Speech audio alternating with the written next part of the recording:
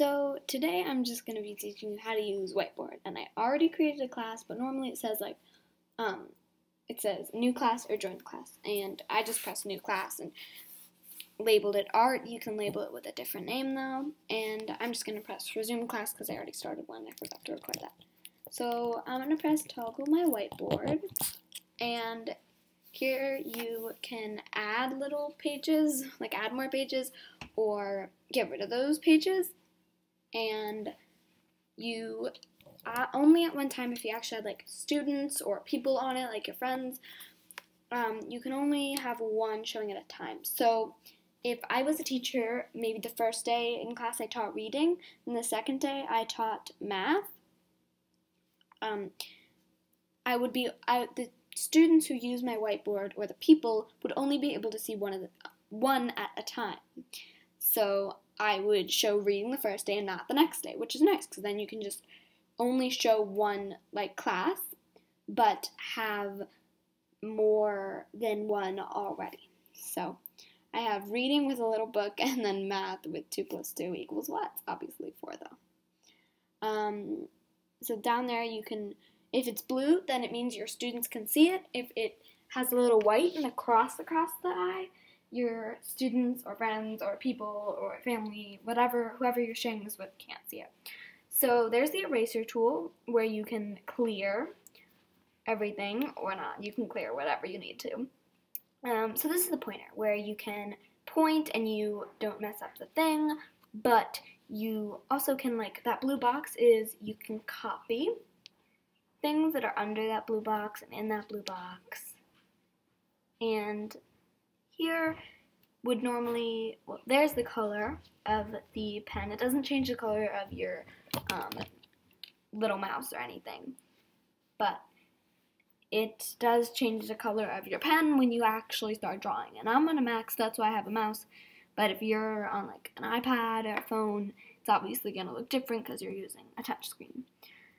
So there you can do all different colors, and here you can change the line width and the line style. But the line width, you can make it either really big, really small, medium, however big you need to make it. And um, that's how big it can get practically, and that's um, not exactly as small it can get, but it can get pretty small. That is just a fill. This is a dotted line, and that is a, um, like a, I don't even, wait, what's, what's it called again? Can't even remember what it was called. Um, anywho, there is the line thing. So if you want a straight line, you can make a straight line. And you don't have to like take all day drawing it. So if you want the line to end, you can double click, but I don't want it to end. I just want to keep going. Oh yes, wait. I never actually knew it did that. I guess so.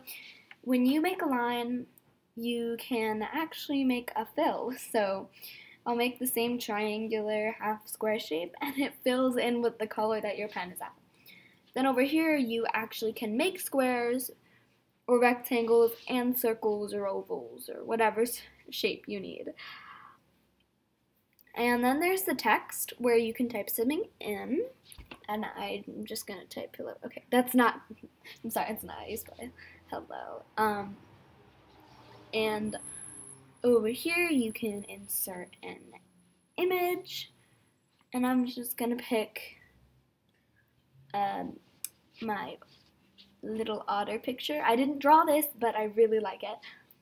It's really cute because I like otters. so I'm just gonna make that smaller and move it over a little bit. Next is um, my, oh.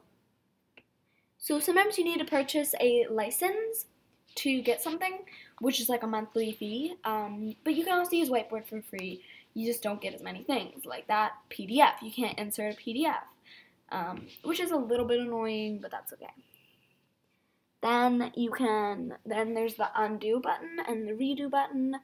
There's a zoom in, there's a zoom out, and in between there's a fit, and that's when you can, that thing is when you can just totally move the thing around but um, I don't like it being like in a weird shape, so I'm just gonna press fit and it straightens it out.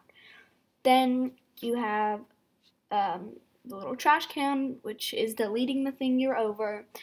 And say like I put the that's not a good example. I put um this little circle under that, but I want it over the otter.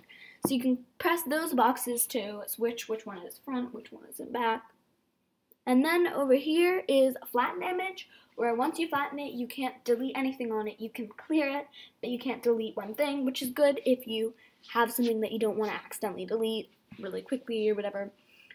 Um, and then there's a grid. You can add grids, which totally just deleted my whole drawing, which is kind of annoying, but okay. And then you have a bigger grid. Um, no, I mean, sorry, not bigger, smaller grid. Um, no, bigger grid.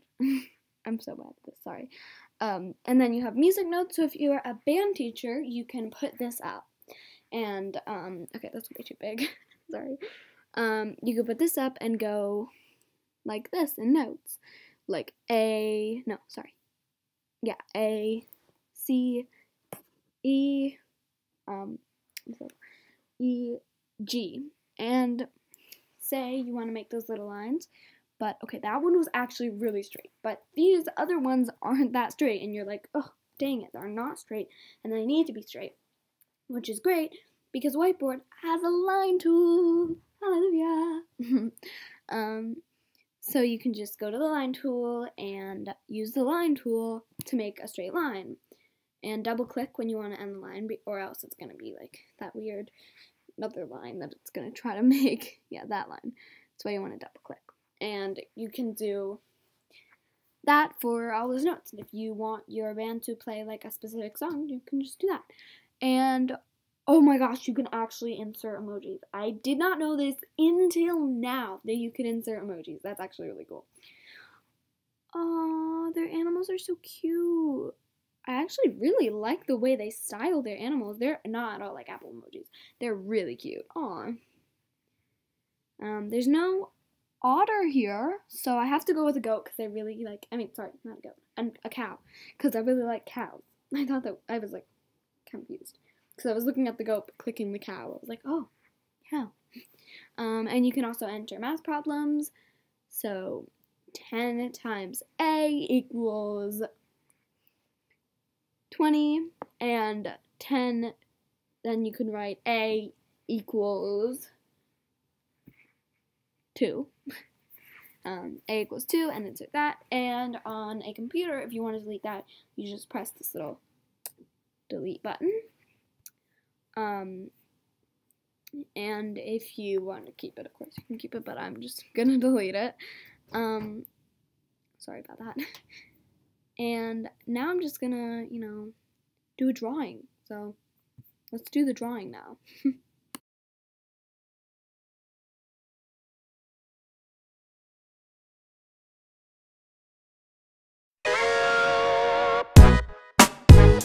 So,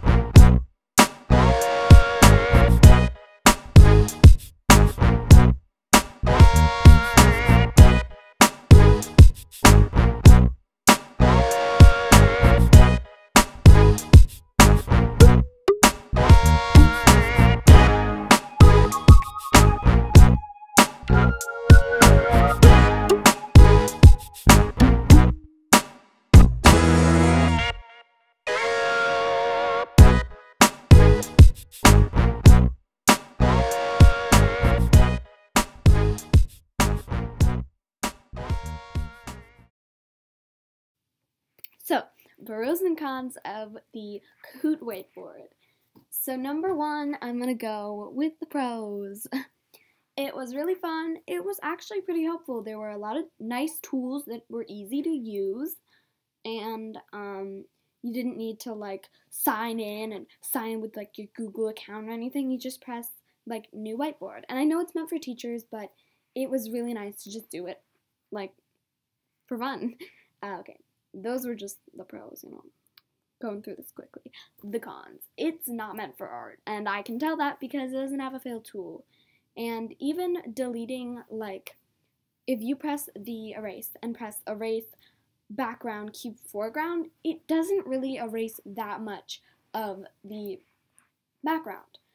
When I was drawing, I actually had to go in and erase the gray lines that were left from my sketch of the girl I drew, which was annoying, and I know that was just a little picky of me to say that, but it was just extra work that I did not want to do. But it's okay.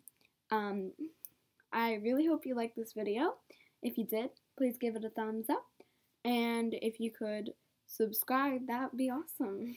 Have a good day.